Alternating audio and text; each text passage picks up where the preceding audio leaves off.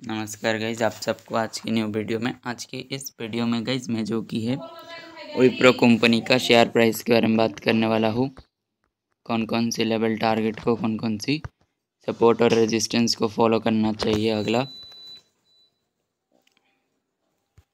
Monday के दिन तो वीडियो को एंड तक देखना। मैं इसका डेली चार्ट पे एनालाइज कर व्यू कर सकते हो।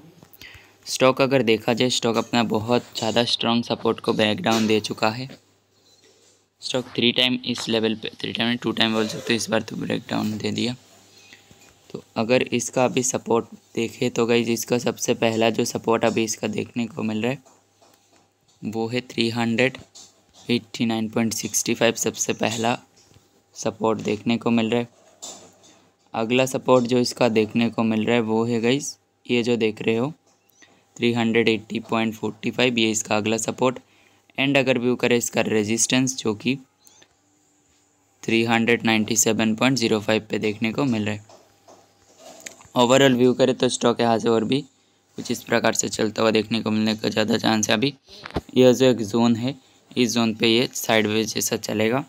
लेवल पे फॉलो करना, मुझसे अगर आप लोग कांटेक्ट करके कुछ भी जानना, कुछ भी पूछना चाहते हो तो चैनल का अबाउट पे कांटेक्ट मिल जाएगा।